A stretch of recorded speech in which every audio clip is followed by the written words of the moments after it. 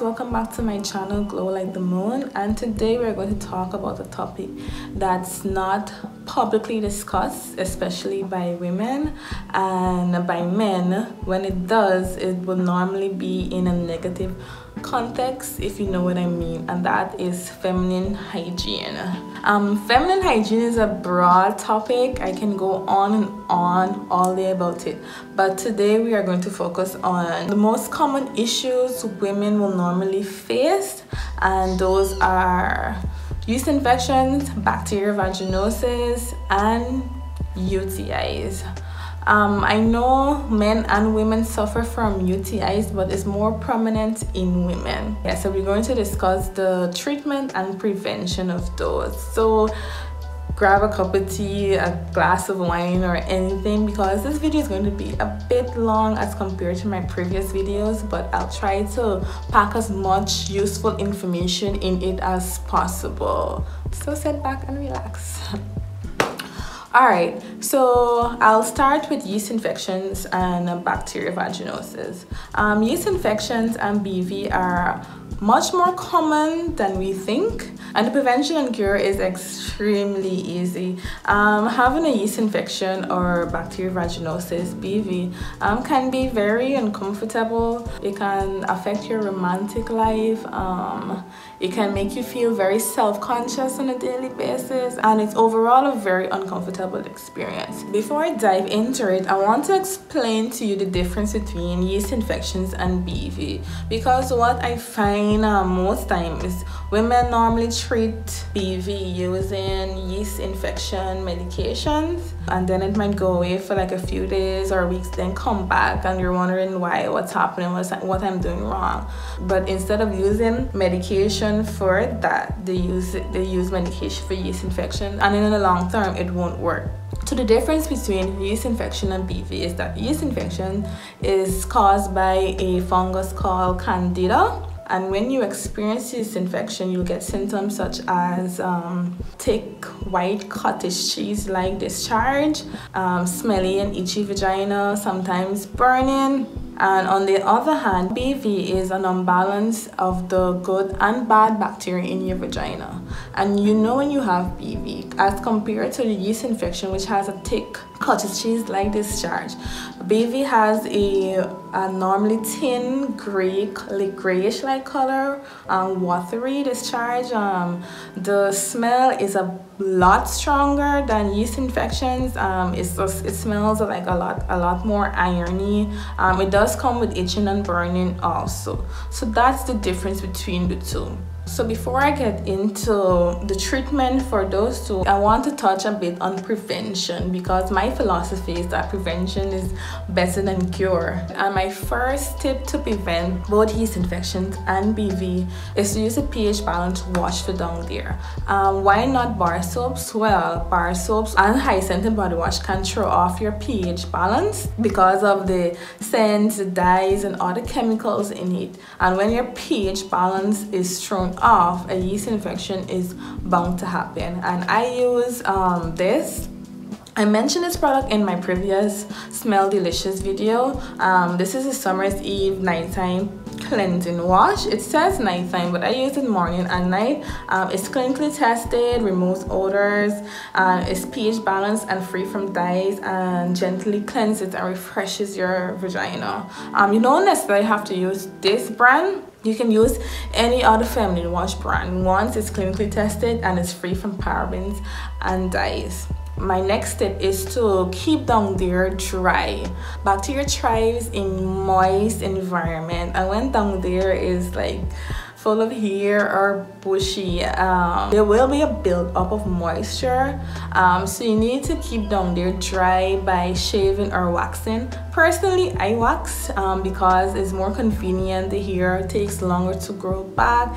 It will leave your skin baby soft. There's so many benefits I can tell you about waxing but shaving works just as fine just as long as you keep down there dry and hair free I'm not going to tell you bathe every day because that's a no-brainer we are not like men that can get away with certain things because of our anatomy we are more prone to infection so bathing every day is a no-brainer and you should be doing that my next tip is to use baby wipes. It's kind of technical, let me explain. Alright, so if you say you do a number two during the day and you're wearing a panty liner, and sometimes sometimes toilet paper alone isn't going to do the job as effectively as baby wipes. So if you use toilet paper alone, some residue may um, leave back and transfer onto your panty liner. And if you're active you're moving you're walking up and down. Sometimes your panty liner can tend to shift or move. And if that residue is on your panty liner it can shift and go close to your vagina. And that bacteria can be contaminated and can cause an infection. So to be on the safe side after a number two especially um, just use a baby wipe to get down in there and always remember to wipe from the back. My final tip on preventing all right now my final tip for prevention for yeast infection and bv is when you're inserting anything up there um, let me give an example, a finger. If you're inserting a finger up there, make sure the finger is clean, um, sanitized properly or whatever. I can probably give other examples, but I don't want this video to get flagged. So make sure it's clean and sanitized. Whatever you're inserting up there, just make sure it's clean. Alright, so if you do happen to develop a yeast infection or bacterial vaginosis, I would highly recommend you use this boric acid, 600 milligrams. It basically supports pH balance and supports vaginal health overall. Alright, these are suppositories or capsules if you want to call it that and what boric acid does it naturally cleanses the vagina while um, restoring pH balance and the good and bad bacteria. This is the holy grail for your girl. Even if you don't have an infection, you can use it for um, high scented issues, um, dryness, itchiness, burning, um, and excessive discharge this is a one product fits all for whatever infection you might have down there. Um, also you can go on amazon and read the reviews and testimonies about this product. I think i paid um, about 25 us dollars but it works amazing. Whatever issue you have down there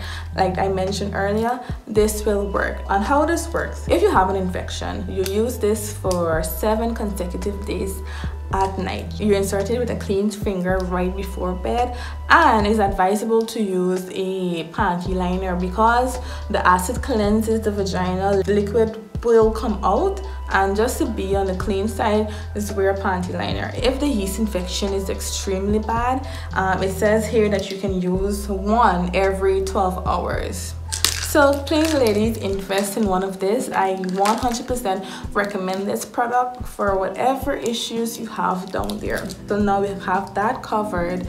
It's time to talk about urinary tract infections. Yes, UTIs. Um, every person uh, will experience at least one UTI in their lifetime and they are totally normal.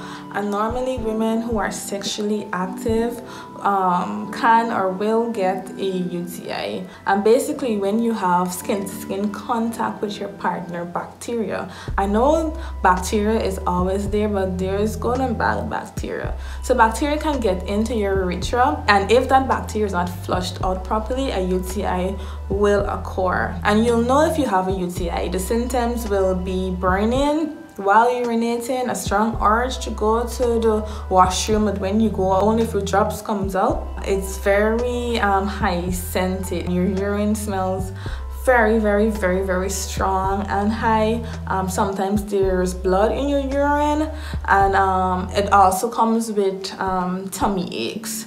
So those are the basic symptoms of an UTI and the prevention of UTI is simple. All you need to do is urinate after sex.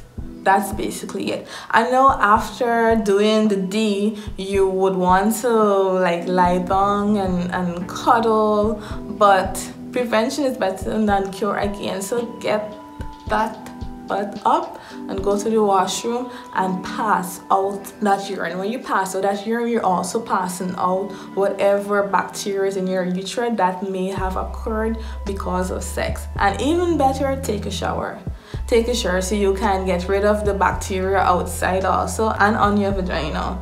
So that's basically it to prevent UTIs now if you happen to get one you need to go to the doctor because the best way to treat UTI is to use antibiotics in my opinion. Um, and, and only a doctor can prescribe that because it's not over the counter. And here's a quick tip to use when you go to see your doctor. Ask your doctor to do a culture test. Now what a culture test does, it basically finds out the type of bacteria you have because not all antibiotics treat all types of bacteria. Sometimes your doctor may prescribe uh, an antibiotic for you that would not 100% treat the type of bacteria you have and then you might feel better for a few weeks and then it, it will will come back. So ask your doctor to do a uh, culture test so he can prescribe the right type of antibiotic for you. So another product I use to further prevent UTIs apart from just urinating after sex is to use the D-Mannose urinary tract capsules. This cleanses the bladder and the urinary tract. The body uses glucose to cleanse the bladder and your urinary tract. And this basically is another form of glucose to accelerate that process. And you can use this in conjunction with your antibiotics. Um, also you can use this right after having sex or the next day just to just to be on the safe side and prevent a UTI from happening. The suggested dose is three capsules one to three times a day and you can use it with water or cranberry juice. Because when you have a UTI you really need to hydrate drink a lot of fluids to pass all the bacteria faster. So um, I recommend this product also um, to speed up the process and to keep a healthy, generally healthy um, bladder and urinary tract. So those are my tips and tricks and products to maintain good feminine hygiene. So thank you guys so much for watching the video. If you have any questions, you can follow me on Instagram at glow like the moon or three and you can we can have a, a for the chat there. Don't forget to share the video with your friends, your family, your wife, your girlfriends, anybody. Don't forget to like and comment. Thank you. Until the next one. Bye, guys.